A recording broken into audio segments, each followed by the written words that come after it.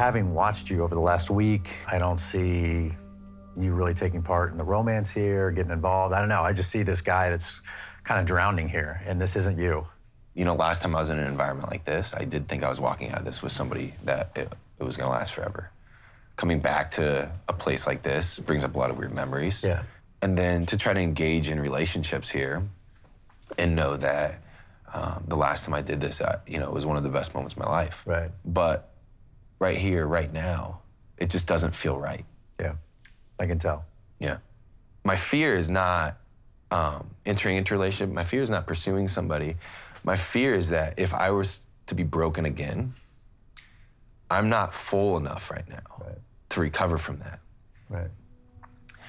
And then you have all the comments coming in. Not even mean, not even intentional, but nobody realizes how real it was.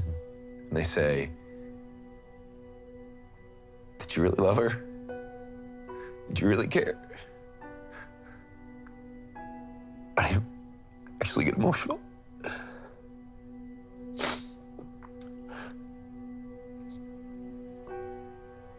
Damn it, Chris. But I don't know if you can relate, but when something that's so real to you then seems so small to everybody else, mm-hmm. and not just friends and family, millions of people, Yeah. it breaks you every, every day. Mm. And that's what sucks. Yeah. Because as much as I've moved on, and I have, it still hurts.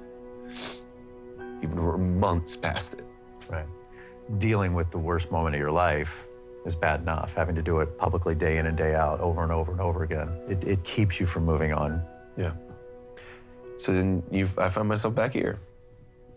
And I'm hoping this is a place for me to to at least show that I, you know, what was happened was real. Mm-hmm. Now it's time for me to take steps forward. But you got to be patient. You got to realize that it doesn't just happen like that. No. But when it does happen, um, I, I can honestly tell you when it does happen, I am ready for that. Yeah. But until then, th- there's just not a place for me here.